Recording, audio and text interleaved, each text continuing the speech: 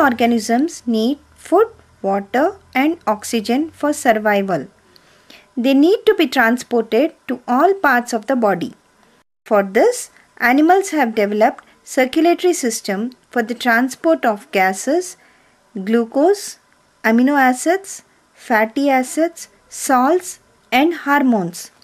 The respiratory gases like oxygen and carbon dioxide are transported from respiratory organs to tissues and from tissues to respiratory organs through circulatory system.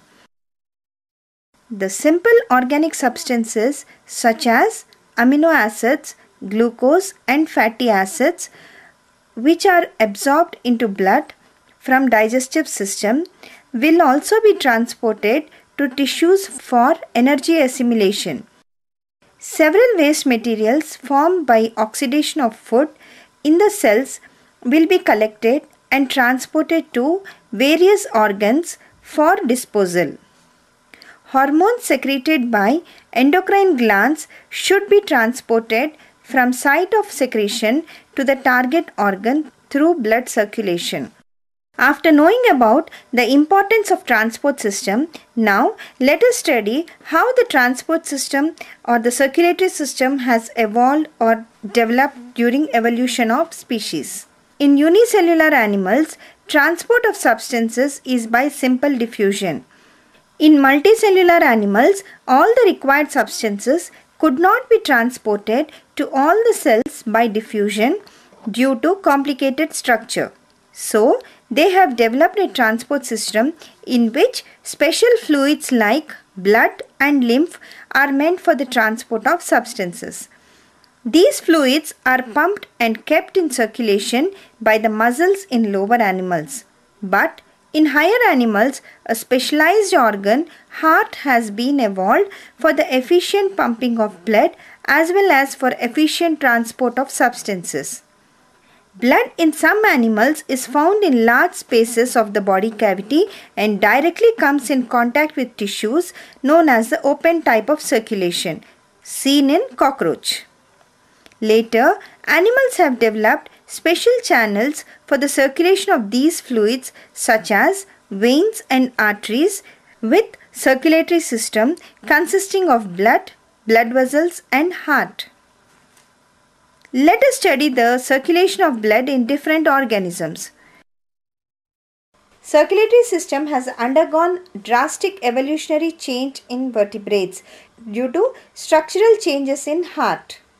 The heart is two chambered that is one auricle and one ventricle in fishes that is the primitive vertebrates which evolved into three chambered heart in amphibians two auricles and one ventricle and in reptiles three chambered with two auricles and one incompletely divided ventricle and finally into four chambered heart that is two auricles and two ventricles seen in birds and mammals.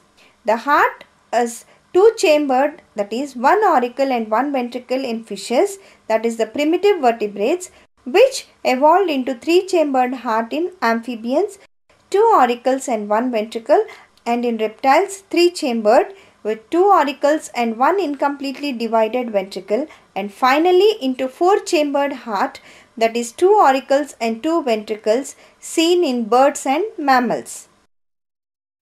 In primitive vertebrates like fishes, blood is sent from heart to respiratory parts and then to body parts. Here, the blood is entering the heart only once, hence is called as single circuit and since gills are used for oxygenation of blood, it is said to be as branchial circulation. In higher animals, amphibians to mammals, blood from heart is sent to lungs and from lungs it is sent back to heart. From heart it is pumped to body organs. So, it is called as double circuit circulation and the heart is pulmonary heart. Let us study about the circulation of blood in each of these organisms. First, fishes. The heart is two chambered and consists of one auricle and one ventricle. Heart collects the deoxygenated blood from different organs through two caval veins. These caval veins open into a chamber called as sinus venosus. From sinus venosus, the impure blood first enters into auricle and from auricle, blood enters into the ventricle. From ventricle, blood is sent to gills through blood vessels for oxygenation. The blood gets oxygenated in gills and is supplied to different organs of the body. In fishes, blood passes through heart only once in one complete circulation of blood. Hence, the circulation in fishes is called as single circuit circulation. The heart in fishes pumps blood into gills where branchial respiration occurs. Hence, is called as a branchial heart or a venous heart. And the circulation is said to be as branchial circulation. Amphibians. In amphibians, heart is made up of three chambers, two auricles and one ventricle. Auricles are side by side and are separated by a muscular wall. Ventricle is behind the auricles. The deoxygenated blood from the body parts is collected into three large caval veins called as the vena cava veins or the caval veins. These veins unite to form a structure called sinus venosus. This opens into the right auricle. The right auricle functions as a center for the collection of deoxygenated blood. The left auricle receives oxygenated blood from the lungs through pulmonary vein. Both the auricles open into the ventricle. Auricles contract and the blood is pumped into the ventricle. The deoxygenated and the oxygenated blood mix in the ventricle. The ventricle contracts and the blood is pumped into a large artery called aorta and the mixed blood is distributed to all parts of the body including the lungs. The heart that pumps blood to lungs for oxygenation is called as pulmonary heart. In frog and in higher animals, blood passes twice through the heart, once between heart and lungs and second time from heart to body parts. Such a circulation is called double circulation and the heart is called as double circuit heart. Reptiles. Reptiles like lizards and snakes have two auricles and one ventricle in their heart. The ventricle is incompletely divided into two chambers. So, it is an incompletely divided four-chambered heart. The circulation is double circulation and the heart is a pulmonary heart. Aves and mammals. In birds and mammals, the heart is completely divided into four chambers with two auricles and two ventricles. Sinus venosus is absent. Caval veins open directly into right auricle.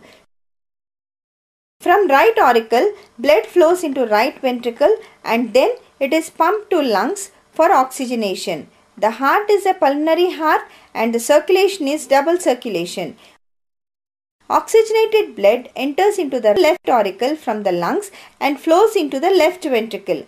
The left ventricle pumps blood to all other parts of the body through aortic arches. This type of circulatory system in human beings is the most advanced